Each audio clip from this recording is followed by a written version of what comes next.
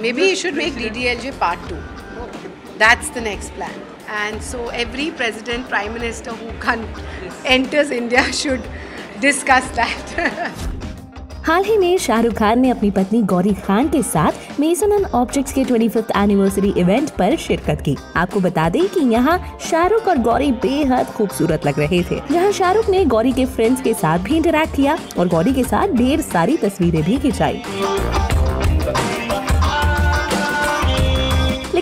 Event का highlight तब था जब गौरी खान ने शाहरुख खान की film D D L J पर हाल ही में आए यूएस के प्रेसिडेंट डोनाल्ड ट्रंप के स्टेटमेंट पर टिप्पणी की है।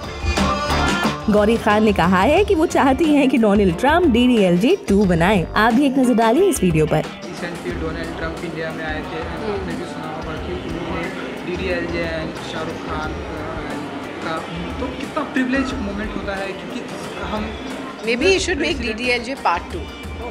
That's the next plan. I think he'll do that. I think I'm going to tell uh, Ditya Chopra to make part two. And so every president, prime minister who can, enters India should discuss that. तो आपको हमारा ये event कैसा लगा comment कीजिए और ऐसी ही खबरों के लिए सब्सक्राइब करें हमारा चैनल